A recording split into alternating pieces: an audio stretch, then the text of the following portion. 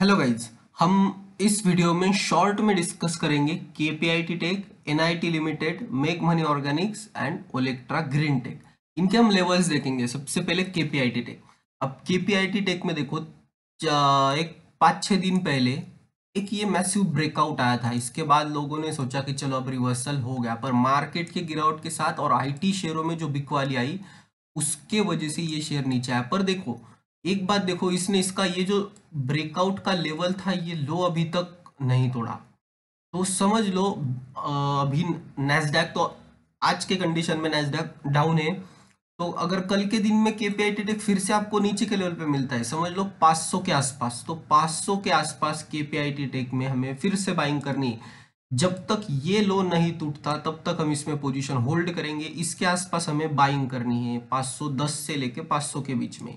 और stop loss होना चाहिए आपको, आपका 490 का स्टॉप लॉस तो ये हो गया सिंपल सा केपीआईटी टेक में लॉजिक 490 का हम रखेंगे यहाँ से स्टॉप लॉस और ऊपर टारगेट शॉर्ट टर्म का स्विंग ट्रेड के लिए 800 का हम रखेंगे केपीआईटी टेक में टारगेट तो ये हो गया केपीआईटी टेक शॉर्ट एनालिसिस अब जे, जो एक केपीआईटी टेक है, उसी के जैसा है एनआईटी लिमिटेड अब एनआईटी लिमिटेड में देखो, ये कंसोलिडेशन फ़ेज़ में रहा। बहुत दिनों तक ये कंसोलिडेशन होते रहा, ये रहा और उसके बाद होता होता है इसमें ब्रेकआउट 650 का हाई लगाने के बाद अब ये 550 के भी नीचे 100 पॉइंट नीचे आ चुका है। अब इसके लिए इंपॉर्टेंट सपोर्ट कौन सा होगा? तो इंपॉर्टेंट सपोर्ट होगा इसके लिए 506 506 मतलब 500 के नीचे ये नहीं जाना चाहिए। यहाँ पे भी सेम स्टॉप लॉस होगा हमारा। 490 का स्टॉप लॉस और और आने वाले ट्रेडिंग सेशन में अगर एनआईटी लिमिट आपको नीचे के लेवल पे मिलता है 510 सेम लेवल निकल के आ रहे।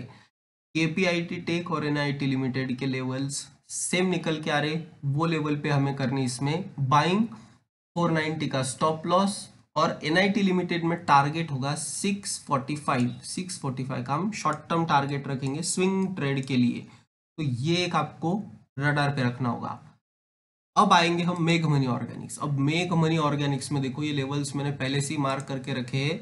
ये ब्रेकआउट तो दिया इसने 149.62 के ऊपर ब्रेकआउट तो दिया, पर मार्केट वीक होने के कारण ये नीचे आया है।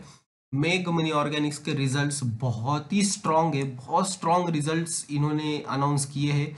इसके लिए स्ट्रांग सपोर्ट की तरह एक्ट करेगा ये लेवल 127 127 इसके लिए एक स्ट्रॉन्ग सपोर्ट की तरह करेगा तो हमें क्या करना है अभी? अगर ये नीचे आता है 127 के आसपास आता है तो हमें वहाँ पे बाइंग करनी है और हम हमारा स्टॉप लॉस रखेंगे 115 के आसपास। 115 हमारा होगा स्टॉप लॉस और मैं तो कहूँगा इसे होल्ड ही करके चलो, इसे बेचना नहीं है। 115 ये स्टॉप लॉस हम रख के चलेंगे और मेक मनी ऑर्गेनिक्स में 500 का टारगेट है। लॉन्ग टर्म इसे होल्ड करके चलना है। कंपनी बहुत बड़ी मेघ मनी ऑर्गेनिक्स की ग्रुप, मेघ मनी ग्रुप की कंपनी है। इसमें हमें अपवर्ड मूवमेंट देखने मिलेगी। अब नेक्स्ट स्टॉक होगा हमारा Olectra green tech Olectra green tech यहाँ पे देखो, ये जो पैटर्न बनते जा रहा है, ये पैटर्न एक्चुअली खतरनाक पैटर्न बनते जा रहा है। ठीक है ना? ये, अगर ये एम का ब्रेकआउट देता है नीचे तो ये ब्रेकआउट आ सकता है। ब्रेक डाउन आ सकता है सॉरी ब्रेक डाउन अगर आता है तो ओलेक्ट्रा ग्रीन टेक ये नीचे 497 तक आ सकता है। तो अगर जिनकी पोजीशन है, जिन्होंने हमने यहाँ पे रिकमेंड किया था कुछ 200 के आसपास हमने कवरेज शुरू की थी 900 तक चला गया था शेयर अब अगर पोजीशन होगी तो 490 आपका स्ट्रिक्ट स्टॉप लॉस होगा। यहाँ पे भी स्टॉप लॉस 490 ही बन के आ रहा है। तो एक बात देखो, हमारे चार शेयर में से तीन शेयर का स्टॉप लॉस ही 490 490 लेवल ये काफ़ी इंपॉर्टेंट लेवल हो रहा है यहाँ पे।